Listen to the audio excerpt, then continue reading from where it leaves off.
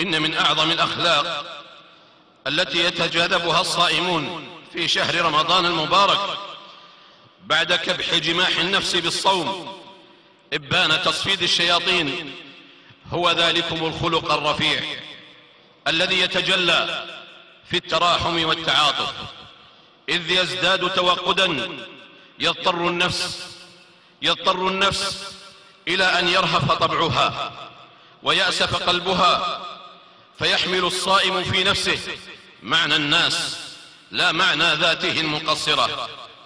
فإن من فاق الناس بنفسه الكبيرة ستكون عظمته في أن يفوق هو نفسه الكبيرة دون بطر أو غمض وإذا عظمت نفس المرء هان عنده المال والبذل والجود فاغتال شحة ووأد أنانيته وهي حية.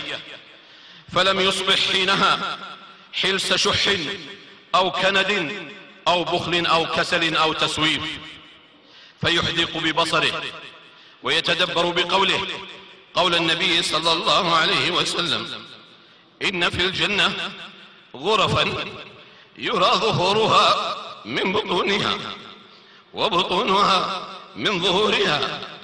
قالوا لمن هي يا رسول الله؟